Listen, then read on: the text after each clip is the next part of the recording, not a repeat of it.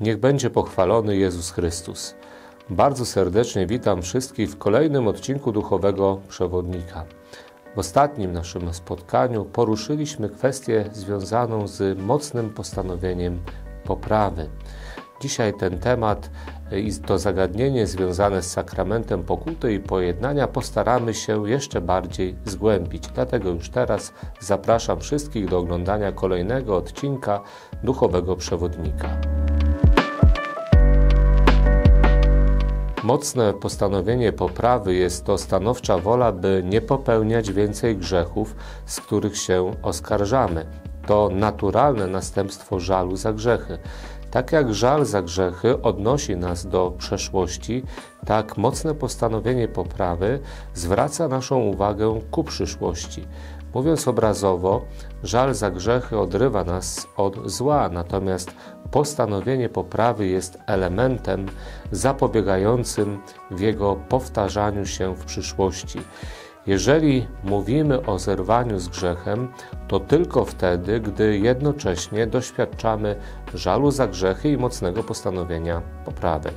Zobaczmy, że jeżeli nie chcielibyśmy zerwać choćby z jednym tylko grzechem ciężkim, a mamy ich znacznie więcej, to wówczas z powodu tego jednego ciężkiego grzechu, z którym, które chcemy w jakiś sposób podtrzymywać dalej w naszym życiu, wszystkie pozostałe nie będą nam przebaczone. Dlaczego? Bo nie można być jednocześnie przyjacielem Pana Boga i jednocześnie mieć serce dla zła y, dostępne. Nie można być zatem też przyjacielem, więc i nieprzyjacielem Boga. Przy okazji sakramentu pokuty i pojednania możemy spotkać się z takim problemem, który dotyczy właśnie mocnego postanowienia poprawy.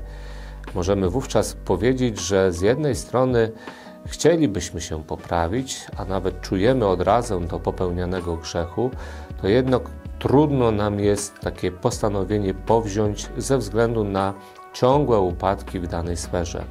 Tego rodzaju problem trzeba podzielić na dwie części. Po pierwsze, mocne postanowienie poprawy to nie rzecz, którą chcielibyśmy robić po spowiedzi świętej w bliżej nieokreślonej przyszłości, ale rzecz, którą chcemy już robić w trakcie nawet spowiedzi świętej, a więc ta dyspozycja serca jest już w nas obecna.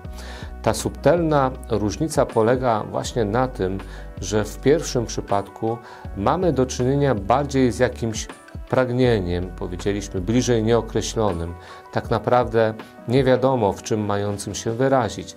Natomiast w drugim mówimy już o akcie woli, która jest ukierunkowana na dobro i chce je realnie, realnie czynić. Innymi słowy, wola dąży prosto do celu i uczciwie posługuje się środkami, jakie do niego prowadzą.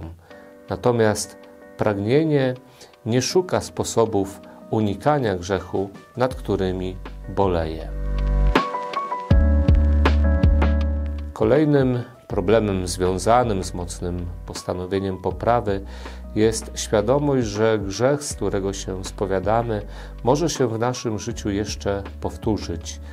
Mocne postanowienie poprawy to nie spojrzenie w przyszłość, która ma na celu wykluczenie wszelkiego zła w naszym życiu, ale akty woli, które mają się wyrażać w chwili obecnej.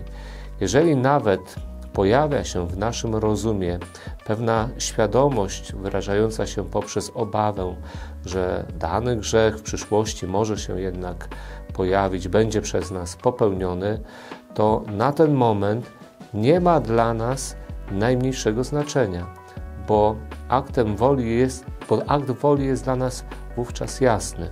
Tu i teraz nie chcę mieć z tym grzechem nic wspólnego. W istocie przewidywanie ponownego upadku nie jest y, żadnym dowodem, że ten upadek koniecznie nastąpi. Natomiast trwać w takim przekonaniu, wręcz uporczywie w nim trwać, znaczy nie uznawać działania łaski Bożej i woli ludzkiej. Pamiętajmy, że gdy zbliżamy się do źródła Bożego miłosierdzia, to wówczas możemy spodziewać się rzeczy, które dla nas po ludzku są niemożliwe. Bardzo serdecznie dziękuję wszystkim za oglądanie kolejnego odcinka Duchowego Przewodnika. Zachęcam wszystkich do subskrybowania kanału Katolickiej Telewizji Serbinów oraz do kliknięcia w dzwoneczek, aby być informowanym na bieżąco o materiałach, które publikujemy w naszym, na naszym kanale. Dziękuję za uwagę i do zobaczenia już za tydzień. Niech będzie pochwalony Jezus Chrystus.